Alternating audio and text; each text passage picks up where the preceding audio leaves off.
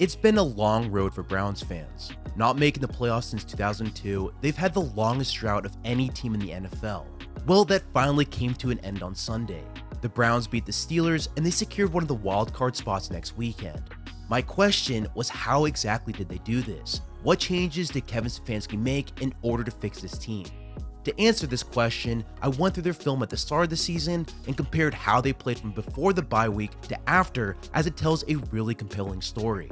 One of my big and major takeaways was just how different Baker Mayfield played from the start of the season to the finish. It was this change that made a huge difference for this team. To illustrate this, I want you to check out his stats and grades from before the bye to after. Sure, Baker threw a higher percent of touchdowns on his passes in his first 8 weeks, but the mistakes were a big issue. An interception rate of over 3% is pretty bad. Additionally, check out the differences between his Pro Football Focus grade and his adjusted net yards per attempt as well, going from a 67 to an 88 in PFF, and going from 6.2 to 7.7 in adjusted net yards are both huge improvements. Needless to say, this drastically helped the Browns. Now, going through the film, what I saw different was mainly the level of comfort that Baker had with this offense and how that changed over the course of the season he seems much more confident in his ability to read the defense. He used this to make better decisions and make more well-defined throws after the bye. For example, earlier in the season, it didn't feel like Baker always trusted his eyes to make the correct throw. Like on this play, the Browns are running a smash concept. This is a high-low read on the sideline. On this one, you can see Baker reading the underneath flat zone defender, but for some reason he doesn't throw the corner. His feet are planted, he's not under any pressure, and there's a clear window for this throw before the receiver broke at the numbers. If Baker threw it, this pass could have easily gained 15 yards through the air. Instead, he threw it to his running back. Now, to Baker's credit, his pass was accurate and Hunt was able to gain 10 yards. However, the correct decision is the corner, and the reason why I bring up this play in the first place is that it illustrates a bigger trend. Baker struggled to throw with timing in this offense at the beginning of the year. This is a big reason why he had so many hit or miss performances earlier in the season. He simply didn't always trust his eyes to make the necessary throw when he had them. The other thing I saw was that his vision was also a bit hit or miss as well.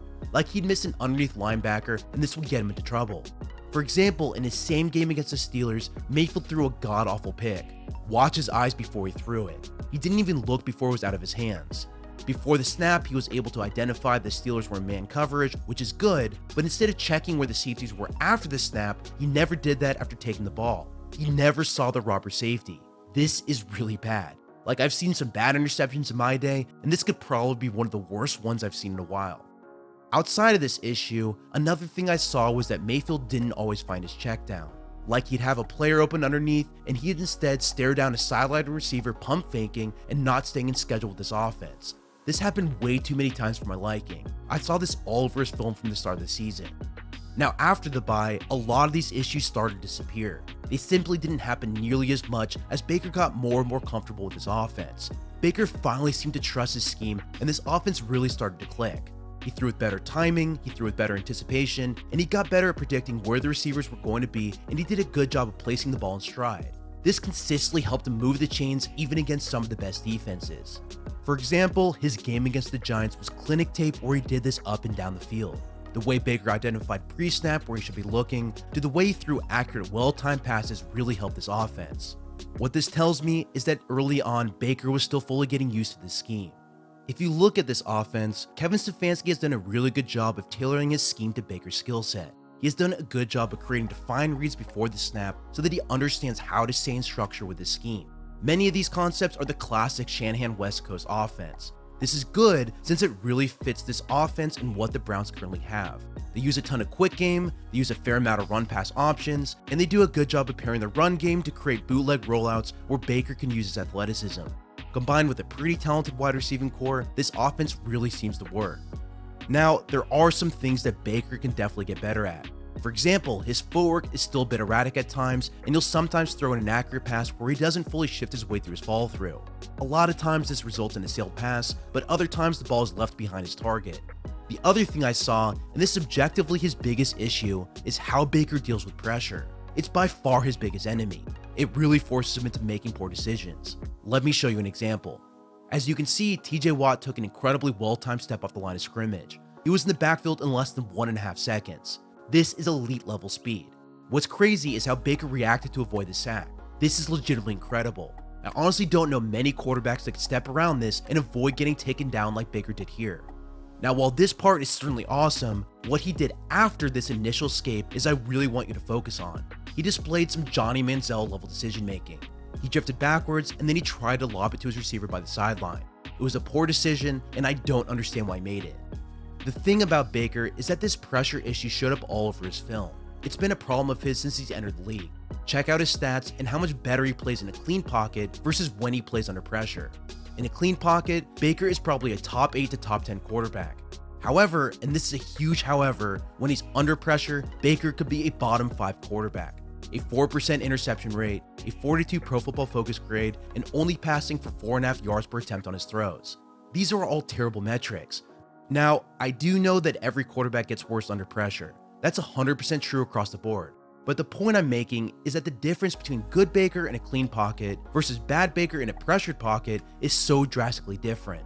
This is something we really have to pay attention to as it could be his Achilles heel in future games. While this is definitely a negative, there is a silver lining. The Browns actually have one of the best offensive lines in the entire NFL. If I was running the Browns, I would do whatever it takes to keep that. They are ranked second in pass blocking efficiency according to Pro Football Focus. During the season, they only allowed a pressure on 15% of their snaps. If you compare that to some of the other lines across the league, the average line gives up a pressure on 24% of their snaps. The worst line for comparison is the New York Jets, and they allow a pressure 37% of the time. I don't want to bring Sam Darnold into this, but there's a pretty good reason why he's seeing ghosts. Maybe I'm just spitballing here, but a 37% pressure rate is probably a big reason. Regardless, and going back to the Browns, having this offensive line really does help Baker Mayfield. So to give credit to this, we need to point to the Browns hiring Bill Callahan this offseason. If you know anything about offensive line coaching, Callahan is one of the best coaches in all of football. He knows how to get the most out of his players. He does a great job teaching technique, and this has been true of his time in DC and his time in Dallas. In fact, I was even lucky enough to meet the guy, and frankly, you can see just how happy I was to talk to him. Now, outside of Bill Callahan, we need to give them credit for signing Jack Conklin to play right tackle and for drafting Jedrick Wills as well. They have clearly helped this offense. They have both helped keep Baker upright in the pass game, and they've also done a fantastic job of blasting open holes for the running backs. This team, as most of y'all know, features one of the best one-two punches in all football. Nick Chubb and Kareem Hunt are both really good. Chubb is one of the best running backs in the entire league, and he's gotten better every single season since he came out of Georgia.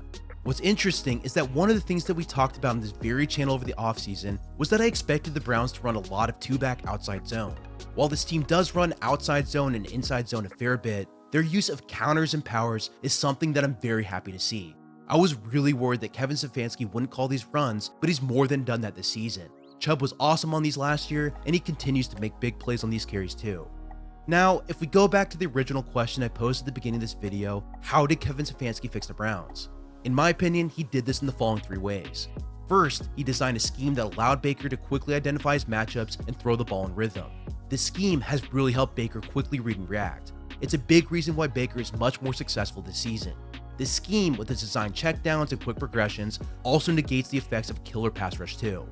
The other thing that Stefanski did is that he paired that passing game with the run game. With having an offensive line coach like Bill Callahan, the pair works really well together to run the wide zone stretch game and bootleg off of it to create some really big plays.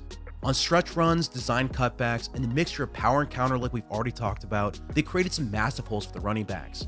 They both do such a good job getting the most out of their players, and since they invested in their offensive line, it really helped pay dividends all season.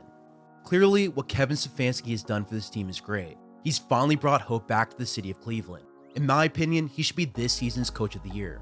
At this point, it honestly doesn't really matter how well the Browns do in the playoffs. They're finally living up to their potential. After all those years of turmoil, this hire has really changed the Browns. If they can get more defensive help, primarily in the secondary, this team should be extremely competitive next season as well. Well, that's all I have for you. Thank you so much for watching. I really hope you enjoyed this video. If you did, feel free to hit the like button and also subscribe to my channel as well. Thanks again, and for my latest updates, go ahead and follow me on Twitter at Samuel R. Gold.